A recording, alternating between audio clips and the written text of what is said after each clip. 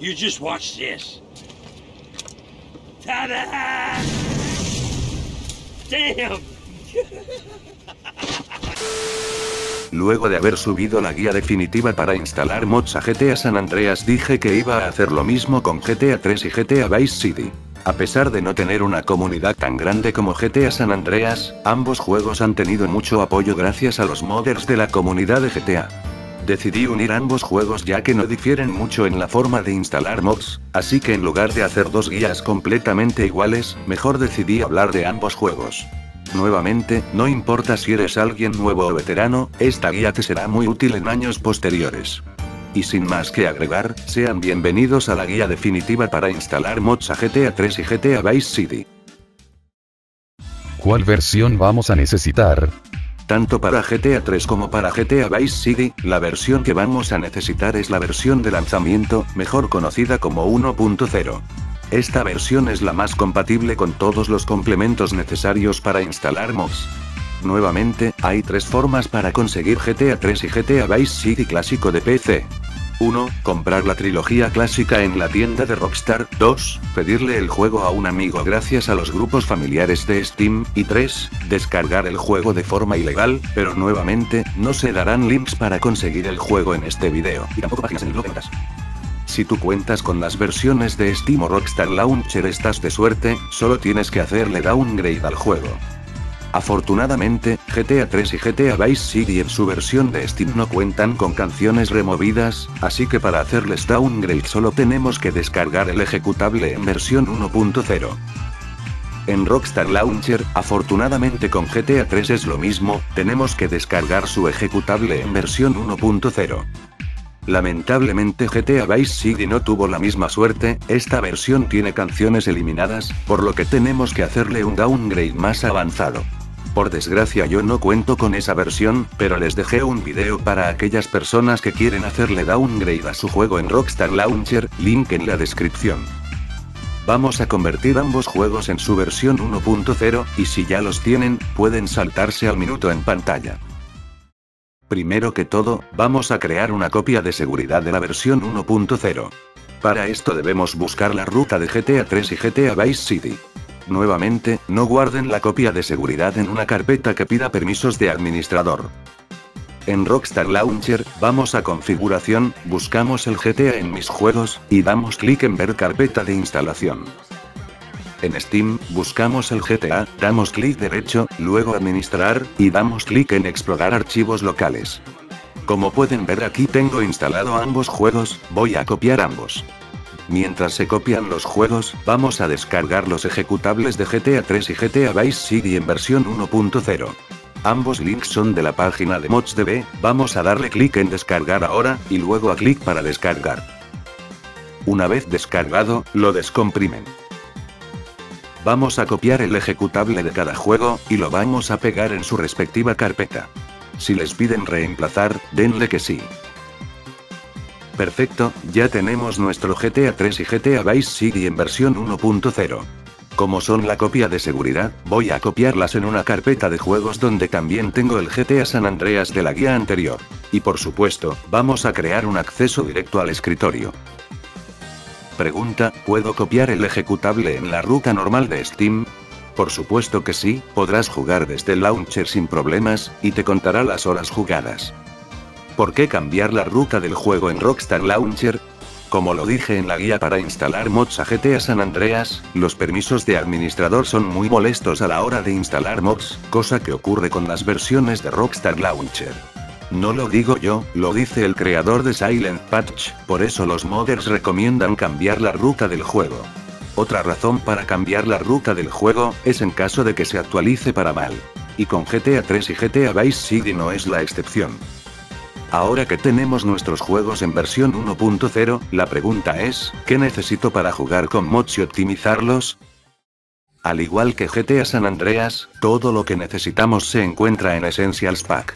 Este pack contiene todo lo requerido para instalar mods y optimizar GTA 3 y GTA Vice City. Este pack contiene el famoso Ultimate ASI Loader. Este complemento nos permite cargar mods en formato ASI, como Classic Axis, o el mod para jugar en modo en primera persona. Essentials Pack también incluye el Cleo 2, gracias a este complemento podemos instalar los famosos Cleo Mods. Y como último complemento tenemos a ModLoader, que nos facilita la forma para instalarle mods al juego, sin tener que crear copias de seguridad o reemplazar los archivos originales. Essentials Pack también incluye algunos mods para optimizar los juegos. El legendario Silent Patch está disponible para GTA 3 y GTA Vice City. Se trata de un parche que hace numerosas correcciones de bugs, y es considerado el mod más indispensable para jugar la trilogía clásica en la versión de PC. No voy a decir todo lo que hace este mod, ya que Street Schools hizo un video de Silent Patch para ambos juegos, y se los dejaré en la descripción. Wide Screen Fix. Este mod adapta ambos juegos a pantallas anchas. Todos los elementos de la interfaz se ajustan a la pantalla, así como también la cámara del jugador, y los subtítulos del juego, eliminando las barras negras en cinemáticas. Frame Rate Vigilante. Este mod se encarga de corregir muchos bugs al jugar a más de 60 FPS, además de limitar los juegos a 60 FPS estables. G-Input, este mod mejora el soporte para jugar con mando en GTA 3 y GTA Vice City, como agregar vibración al jugar, elegir entre los botones de PlayStation o Xbox, y poder realizar los clásicos trucos de consola. Essentials Pack también nos incluye el ejecutable de ambos juegos, pero están parcheados para que reconozcan 4 GB de RAM. Con este parche se corrigen los bugs de la carga lenta, que se presentan al instalar mods en HD. El resto de mods se encarga de corregir algunos bugs menores, y problemas relacionados con Windows.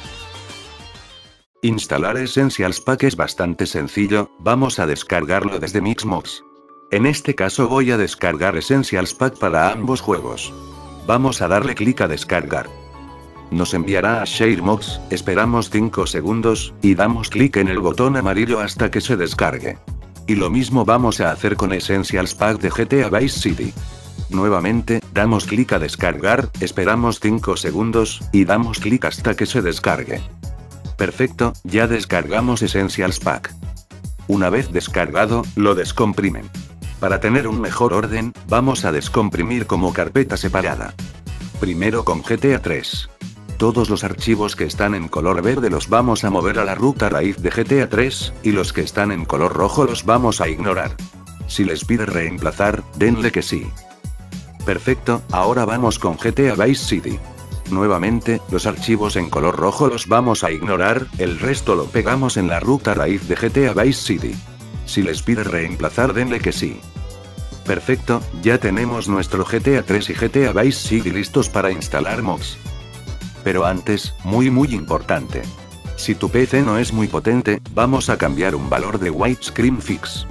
Vamos a la carpeta de ModLoader, entramos a la carpeta Essentials, luego a Widescreen Fix, y abrimos el archivo .ini con el blog de notas. Vamos a la configuración, Force Multisampling Level, y cambiamos el valor máximo, por un 0. Como lo dice el mod, esta configuración pone el anti-aliasing del juego al máximo, pero esto puede provocar problemas de rendimiento en equipos no tan potentes, por eso recomiendo cambiarlo a 0. Esto aplica tanto para GTA 3 como para GTA Vice City. Ahora sí, ya tenemos nuestro GTA 3 y GTA Vice City listos para instalar mods. Finalmente ya tenemos nuestro GTA 3 y GTA Vice City listos para instalar mods, y como no quiero que se queden con las dudas voy a decirles algunos consejos, programas que son útiles, y cómo usar ModLoader, que en estos juegos funciona de forma diferente a GTA San Andreas. Vamos con lo básico, siempre verifiquen los archivos que van a instalar, que no tengan mods innecesarios o con el mismo nombre. Lamentablemente Alphys IMG Editor no funciona para GTA 3 y Vice City, pero no todo está perdido. Afortunadamente tenemos alternativas como IMG Manager, con este programa podemos importar y extraer archivos de los .img. Para extraer y modificar texturas nuevamente recomiendo Magic TXD, que es más estable que TXD Workshop. Al igual que GTA San Andreas, esta es la forma correcta para instalar mods en ModLoader sin errores. Como dije hace unos momentos, ModLoader funciona de forma diferente para GTA 3 y GTA Vice City. Lamentablemente no contamos con un menú como en GTA San Andreas para establecer la prioridad de los mods de forma más fácil. Sin embargo, para establecer la prioridad de los mods, vamos a la carpeta de ModLoader, y abrimos el archivo modloader.id. Como pueden ver, aquí hay una sección que dice prioridad, y nos da un ejemplo de cómo funciona. Como su nombre lo indica, la prioridad indica que mods van a ser los primeros en cargarse, en este caso los números más grandes son los más importantes. Por ejemplo, aquí tengo dos mods que modifican los vehículos del juego, y ambos tienen archivos con el mismo nombre. Esto puede generar conflictos con el juego, y en el peor de los casos crasheará. Aquí es cuando entra la prioridad en ModLoader. En mi caso yo quiero el Infernus de GTA V, así que voy a escribir el nombre de los mods que tengo instalados en ModLoader, específicamente los mods que colisionan entre sí. Vamos a escribir un signo de igual, y luego la prioridad deseada, en este caso quiero que el Infernus tenga una prioridad de 52, y guardamos los cambios. Perfecto, ahora el juego sabe qué mod elegir, y ya no va a crasear. Un mod que requieren ciertos vehículos modificados es D-Magic Wheel 3.0. Algunos mods requieren este mod para mostrar las ruedas personalizadas de un vehículo, un ejemplo es este búfalo de GTA V. Para instalarlo únicamente copian y pegan todo el contenido a la ruta raíz del juego, el link del mod para ambos juegos está en la descripción. ModLoader nos permite corregir bugs al instalar mods de autos. En este caso instalé el mismo búfalo de GTA V, solo moviendo modelo y textura. Como pueden ver las llantas no son las mismas, esto sucede porque no instalé su archivo de configuración. Si vamos a la carpeta del mod estará el archivo leanme, y como pueden ver aquí están las cadenas modificadas, aquí es cuando entra ModLoader en acción. Para instalar las cadenas modificadas vamos a crear un archivo de texto en la carpeta de nuestros mods de autos, el nombre no importa. Voy a copiar y pegar las cadenas modificadas, en este caso del auto Admiral, y guardamos los cambios. Pero antes vamos a asegurarnos de tener instalado Wheel, en mi caso ya lo tengo instalado. Perfecto, ahora las llantas se muestran correctamente. Hay algunos mods que nos piden reemplazar la colisión de objetos del juego. Por ejemplo, aquí instalé un camión de GTA 4 que tiene una colisión modificada, que debemos instalar en el archivo, vehicles.col. Dicho archivo se encuentra en la carpeta col, y lo voy a copiar en una carpeta en el escritorio. Vamos a abrir el archivo con el programa, Collision File Editor, y buscamos la colisión del auto original, en este caso del camión Flagbed. Vamos a eliminar la colisión original, después agregamos la colisión modificada, y guardamos los cambios. Después vamos a mover el archivo vehicles.col modificado, en una carpeta hacia ModLoader. Perfecto, la colisión se instaló correctamente. Un complemento que requieren ciertos mods para funcionar es Open Limit Adjuster. Este complemento ajusta los límites del juego, y es requerido por mods como Project 2DFX. Portable GTA. Este mod cambia la ruta de nuestros archivos de usuario, como partidas guardadas o canciones personalizadas. Este mod es recomendable si vas a jugar mods de conversión total, como GTA Frosted Winter, o GTA Long Night. Hablando de mods de conversión total, estos nos piden tener una copia limpia del juego en versión 1.0, ya que la mayoría tienen los complementos esenciales instalados. Ahora hablemos sobre los ENB Series. Afortunadamente, podemos jugar GTA 3 y GTA Vice City con ENB Series en Windows 10 sin problemas, sin tener que descargar complementos adicionales. Felicidades, aprendiste a instalar mods a GTA 3 y GTA Vice City de una forma actualizada, ya tienen una mejor idea de lo que se debe hacer a la hora de instalar mods. Y ahora que tenemos nuestros juegos listos para instalar mods, seguramente se estarán preguntando, ¿qué mods utilizo yo para jugar GTA 3 y GTA Vice City de la mejor manera? Hagamos algo, después de haber visto el gran apoyo que ha tenido el video de los 50 mods para GTA San Andreas decidí aumentar la meta, así que si llegamos a la meta de 150 likes voy a subir los videos de los mods que yo utilizo para mejorar mi experiencia de juego en GTA 3 y GTA Vice City. Así que ya saben, 150 likes, y se hacen los videos. Y hasta aquí llegamos con el video. Si les gustó, les pido por favor que le den like, se suscriban, y lo compartan con sus amigos, eso me motivaría a seguir haciendo videos más seguido. Les agradezco por todo el apoyo que ha recibido el canal, ya somos más de 2600 suscriptores. Hasta aquí me despido, soy AlexRed29, y nos veremos muy pronto con otro video. Adiós.